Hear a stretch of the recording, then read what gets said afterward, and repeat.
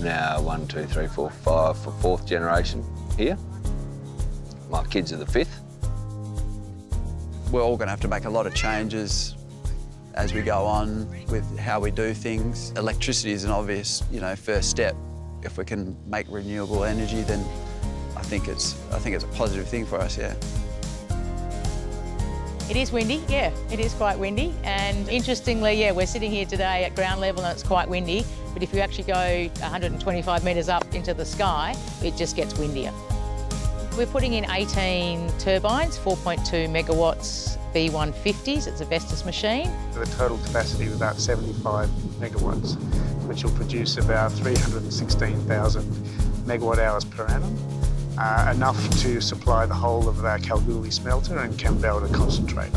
We were really pleased to have Enel Green Power come on board. We were interested in somebody that wasn't just bringing equity, but actually bringing expertise. Enel are a multinational renewable energy group who are working with our BHP counterparts in Chile to produce renewable energy, and we are going to be working with Enel in the Great Southern region of Western Australia.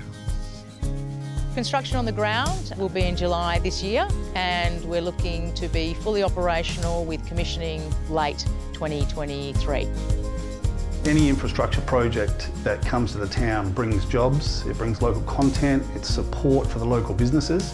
We can't wait uh, to see groundwork starting and for those turbines to start appearing on the landscape. Our customers in the EV market um, and the battery market, they want clean nickel and low carbon intensity nickel. So the Flat Rocks Wind Farm will help us achieve our commitment to the market of a 30% carbon reduction by 2030.